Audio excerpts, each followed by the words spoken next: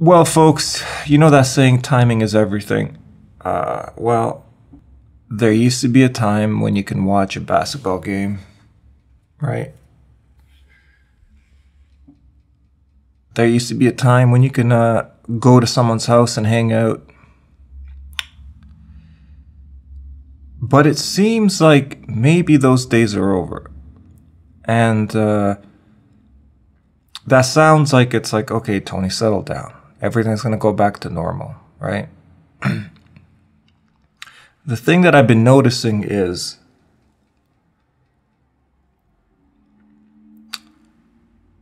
is that people have been people have become so scared of getting sick, getting sick in the future, uh, scared about a future pandemic, scared about a future anything that it's you know crazy theories and wild thoughts used to be a thing of um, the outsiders, you know, not the social norm. You know, people with wild conspiracy theories and people with wild thoughts and different ideas, they're usually kind of like out somewhere, you know? But that sort of uh, mindset has been completely taken over by everyone now. So it seems like people, you know, because people say, like, what's going to happen when things open up again? And uh, I've just heard so many people say, well, I'm not going to go over to your house. I'm not going to hang out with you in person.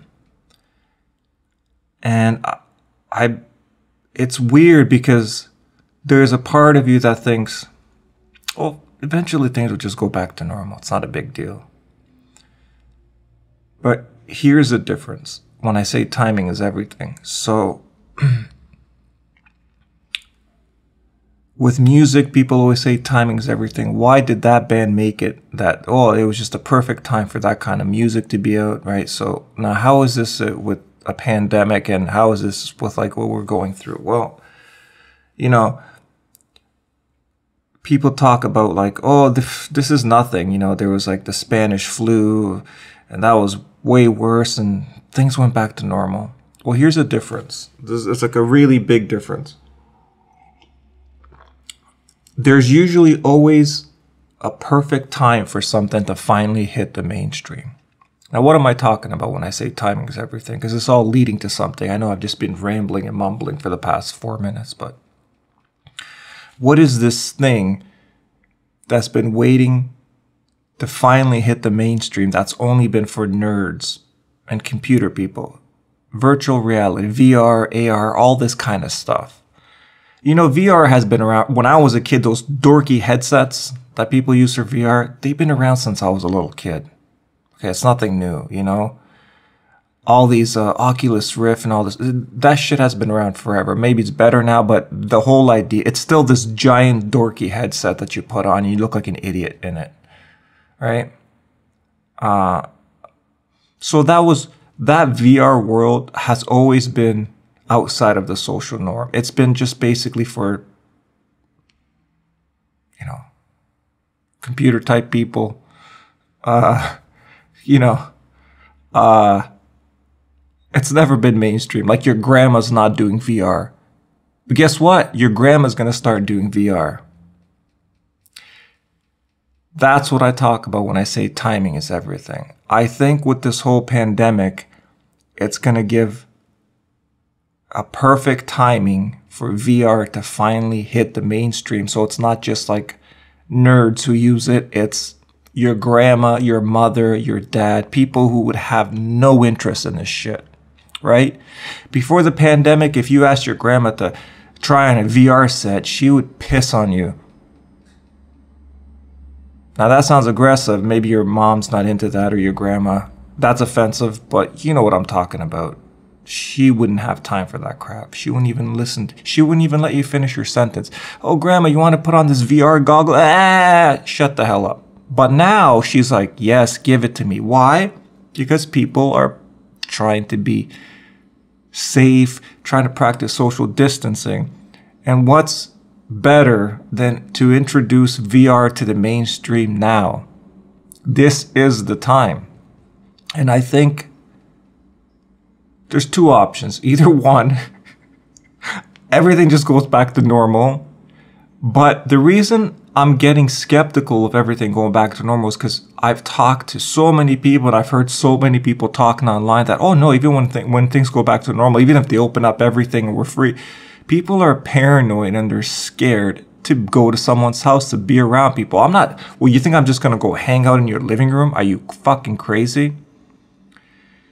So, everyone's scared to hang out in, in other people's houses, in their living rooms. This is it. This is the time for VR to finally hit the mainstream where your grandma's using it, right? And it's so interesting because those dorky goddamn goggles, those VR goggles, have been around for so long. And I've always laughed at it going, this is just so ridiculous. No one wants to put on these giant fucking goggles on your head because you look like an idiot. Nobody wants to do that other than complete computer nerds, right? But now your grandma's gonna do it, and your dad's gonna do it, and you're gonna do it, and everyone's gonna do it. And it's gonna hit the mainstream because people are scared to be around each other. So, this future world we're always wondering about, you know, what is it gonna look like? Well, it seems like, again, timing is everything. This pandemic has made us literally just fast forward into the future. So, from now on, maybe that old fashioned way of going to each other's house is gone. Maybe the only way people hang out now is in a virtual space. Now, again, this virtual space for the computer nerds, it's been around for a long time. This is not, not nothing mystical or wondrous. The virtual world has been around for a very long time. So computer type people, they understand the virtual world. Your grandma and your mom doesn't. If you tell them, hey, have you ever been into the virtual world? they will piss on you. Your grandma and your mom will piss on you at the same time, and that is not something I'm into. But they will because it's too annoying. Somebody who's not into the computer world, if you start talking to them about the virtual world, they will want to hurt you because it's annoying. But now, they're going to love it. See, because it's safe. Social distancing, it's to be great. So that's how it's to enter the mainstream.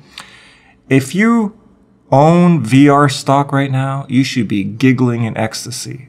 If you own a VR company right now, you should be giggling in ecstasy. This is this is the time that it's going to get pushed through.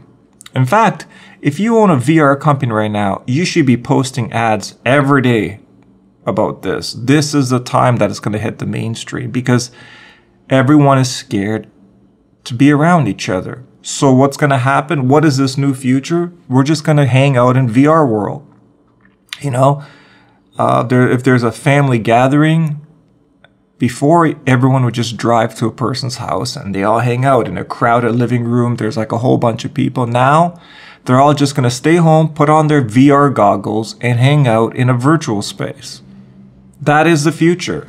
It will see the thing is it was always going to be the future the only question was, when is it going to finally hit the mainstream? Because, like I said, even now, even though I know those VR goggles have gotten better, it, they were still basically just for nerds.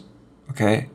No one was really interested in them. Nobody wants to put on those stupid goggles. But now, everyone's going to do it. And it's so interesting to see because I've always wondered when is that going to finally hit the mainstream? Because I, I, just I could never picture regular people just putting on those goggles and just hanging out. Because regular people want to go outside and get some sun, but the future is going to be VR goggles and downing vitamin D pills. Like, oh, probably it'll probably be an IV drip of vitamin D, and the VR goggles. So that's the future, unless everything just goes back to normal. Listen, anything's possible. But from the word on the street, seems like everyone's paranoid and scared of being around anyone, even when things open up. So that's probably it, you know? I think that right now VR is going to hit the mainstream. Your grandma's going to love it. Your mother's going to love it. Everybody's going to love it. They're going to be hooked up. You got to get vitamin D drip. They're going to hang out in a virtual space, and that's it. What else can I say? Maybe they're going to start playing basketball games in the VR world too. Who the hell knows? Nobody knows. I don't know. But that's it. Have a good day. Bye.